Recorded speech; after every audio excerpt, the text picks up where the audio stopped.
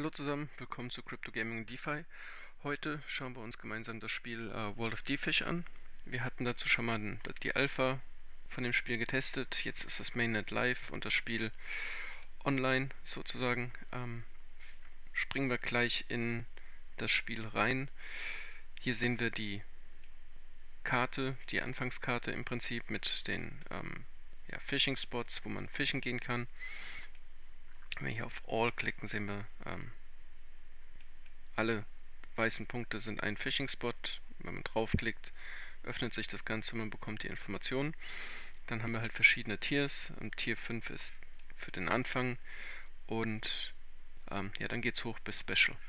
Im Prinzip, ähm, wenn wir uns angucken bei Tier 5, klicken auf die so Zone und dann sehen wir Steuern, ähm, also der Cut, den der Besitzer bekommt von dem, was wir an, an Token fischen, sind 10%. Momentan ist eine Person da, die, die fischt. Äh, wir können 10 Dollar oder 10,5 WOD-Token verdienen und 1.9 an Experience. Experience ist wichtig einmal für ähm, das Gear, für die NFTs, dass die aufgelevelt werden können, aber das ist auch, dass euer Charakter sich auflevelt. Wenn man höhere Levels hat, kann man eben in den Tierstufen nach oben gehen. Wenn wir uns als Beispiel ein Tier 1 angucken, also wir haben hier noch die Übersicht äh, mit der Wahrscheinlichkeit äh, NFTs zu angeln. Wenn wir uns jetzt bei als Beispiel einen Tier 1 Spot angucken, dann sehen wir die, ähm, ja, man würde dann 17 0,8 WOD-Token pro Stunde verdienen, aber die Wahrscheinlichkeit, einen NFT zu bekommen, ist halt viel, viel höher im Gegensatz zu den Tier 5 Spots. Gut, ansonsten klickt man sich halt durch die Spots, sucht sich äh, einen guten Spot aus, bei dem man angeln gehen kann. Das heißt, man sollte hier auf eine hohe WOD gucken und dass nicht zu viele Leute ähm, da angeln, weil ja, ansonsten teilt man das Ganze eben mit äh, den Leuten, die da, die da schon sind. Der sieht doch ganz nett aus. Dann klickt man auf Visit, ähm, kommt dann zu dieser Übersicht, wo auf der rechten Seite eben die äh, NFTs zu sehen sind, die man selbst besitzt. Dann kann man hier auf Equip Best Items, sodass das Ganze automatisch passiert. Und auf Start Phishing, es öffnet sich eine Transaktion. Die ganze muss man dann noch bestätigen und man geht fischen. Während des ganzen Fischens, also eine Fishing-Session, sind 24 Stunden. In der Zeit verlieren die ähm, NFTs oder die Items an Durability. Das bedeutet, man ja, verdient weniger. Das heißt, man hat jetzt eine, oder jetzt hätte, hätte ich eine, eine ja, Verdienst von 100% und in 12 Stunden eben nur noch von 50%. Hier oben kann man jetzt sehen, das sind 5,72 pro Stunde, ähm, die ich an BOD verdiene und das wird halt jetzt weniger. Die NFT-Items müssen nach dem Fischen wieder repariert werden. Das Ganze macht man auf der Workbench. Die zu reparierenden Items wären dann hier oben zu sehen und hier unten sind dann eben die Consumables, mit denen man die NFTs reparieren kann. Ich habe da jetzt noch 15 Stück für 100% Reparatur und 35 Stück für 75 Reparatur. So, eine weitere Option ist äh, in dem Spiel das Crafting. Das heißt, man sieht hier auf der linken Seite die einzelnen Produkte oder NFTs, die man ähm, craften kann und mit den Mat Materialien, die benötigt werden, um das Ganze zu craften. Wir suchen uns jetzt ähm, den Elo aus. Dann sehen wir hier auf der Seite, was wir an Material benötigen und wenn wir das haben, können wir hier auf Craft klicken. Die Übersicht Material klickt man hier oben auf das Material und sieht dann die einzelnen ähm, ja, Materialien, die man in seinen Phishing Sessions äh, schon gefunden hat. Ansonsten haben wir noch den Marktplatz. Äh, wir sind hier jetzt direkt auf Consumables. Die muss man hier kaufen, ähm, um seine NFTs wieder zu reparieren. Da gibt es dann einmal die 25%, 75% und 100% Reparatur. Ähm, Tipp dabei ist, äh, ruhig mal mehrere zu kaufen, weil man sieht, der Preis ist ja relativ gering und man braucht 5 Stück am Tag. Das heißt, ähm, ja, wenn man mehrere kauft, spart man da Transaktionsgebühren. ähm, für die eigenen NFTs. Wenn man Common hat, braucht man Common-Reparatur und äh, ja, bei Ankommen eben Ankommen und so weiter und so weiter.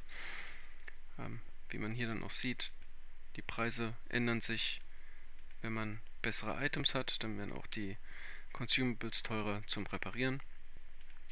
Ansonsten kann man hier Material noch kaufen, ähm, D-Fish-Boxen, in denen dann halt mehrere NFT-Items sind zum Angeln gehen. Man kann Zones kaufen, das heißt man bekommt dann einen kleinen Cut, äh, diese Land Zone Tags von denjenigen, die auf seinem Gebiet angeln. Ähm, wenn man Fisch-NFTs gefangen hat, kann man die hier verkaufen, beziehungsweise man kann sie auch kaufen und dann als Köder benutzen. Und wir haben die Items, die man zum Angeln benutzt. Dann geht man hier auf die linke Seite und sucht sich im Prinzip aus, welche Rarität man haben möchte und hier unten dann den Typ. Ähm, also man braucht auf jeden Fall ein Rod, eine Angelroute, um angeln zu gehen.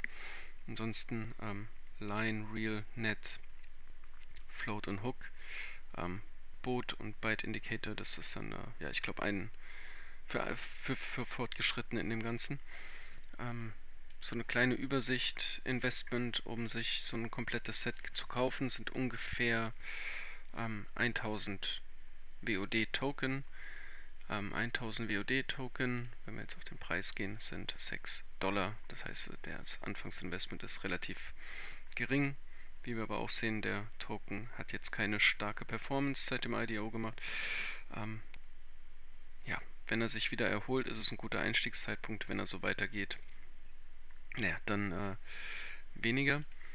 Wobei, wenn wir halt sehen, äh, werden wir 1000 Token benötigen, um anzufangen zu fischen und wir sehen jetzt, dass wir, oder ich, ähm, 5 Token verdienen in 24 Stunden oder beziehungsweise pro Stunde.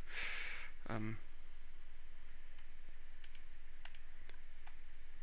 dann brauchen wir, so dann verdienen wir im Prinzip ca. 100 Token am Tag, 120. Davon müssen wir ähm, 17 bis 20 Token abziehen, um zum Reparieren.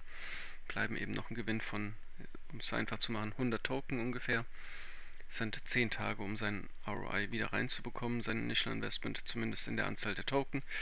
Ähm, ob man dann Gewinn gemacht hat oder nicht, beziehungsweise sein Dollar-Investment wieder drin hat, ist halt abhängig von dem Preis, das ist klar. Wenn der weiter fällt, braucht man ein paar mehr Tage. Ähm, wenn man das Ganze an einem Tag erwischt, wie heute, wo der Token um 32% hochgegangen ist, dann äh, geht das Ganze schneller. Was man noch bei dem Ganzen abziehen musste natürlich die Transaktionsgebühren. Das heißt, wir müssen einmal anfangen zu fischen, einmal die fünf Items reparieren und einmal aufhören zu fischen. Das heißt, die Transaktionsgebühren werden noch abgezogen von dem ähm, ja, Gewinn, den man hat. Das heißt, es bleibt am Ende, glaube ich, nicht wirklich viel übrig, gerade am Anfang, ähm, wenn man dann seine ähm, NFTs verbessert hat, in höhere Gewässer ähm, angeln kann und so weiter, dann verdient man auch mehr Token, aber gerade am Anfang bleibt da glaube ich nicht viel übrig. So, das ähm, ist die Economy. Ich gehe davon aus, mit den ROI von 10 Tagen oder maximal 10 Tagen, dass das auch ein Grund ist, warum hier der Token so weit nach unten gegangen ist, weil ja gerade am Anfang einfach viele Token verdient werden konnten. Ähm, das Ganze wird natürlich auch abnehmen, wenn mehr Leute dazukommen oder eben auch wenn die NFTs ähm, größere Utility haben. Vielleicht kommen hier noch Events und so weiter dazu, die auch äh, ja, die Utility vom Token ein bisschen verbessern, sodass der Preis wieder hochgeht. Aber das äh, ist alles noch, ja, ähm, ist noch nicht klar und bis jetzt nur ähm, Ideen oder Hoffnungen, die ich habe, damit eben der Token bessere Performance macht. Ansonsten, das war schon das Spiel. Es ist relativ simpel, relativ einfach. Die Economy ist relativ einfach. Ähm, mit den verdienten Token kann man eben ja, entweder neue Sachen kaufen oder die wieder ähm, auf dem Marktplatz verbessern, äh, ver verkaufen. Anders.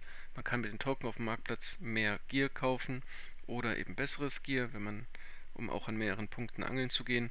Oder man kann seine Token auf dem ähm, ja, einfach verkaufen auf der, auf der Börse. Ähm, ja, das war es eigentlich zu World of DeFi. Ähm, schreibt mir mal, ob ihr das Spiel spielt oder was ihr davon haltet. Äh, vielleicht hat auch der ein oder andere noch eine gute Idee, wie man ähm, sein Einkommen bei dem Spiel verbessern kann. Ähm, ja, wie gesagt, lasst gerne einen Kommentar da.